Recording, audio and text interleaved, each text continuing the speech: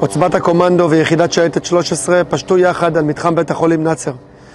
בית החולים שהיה אמור לשמש מחסה הומניטרי התגלה כמרחב לחימה רווי באמל"ח, תשתיות תקשורת ופעילים של חמאס.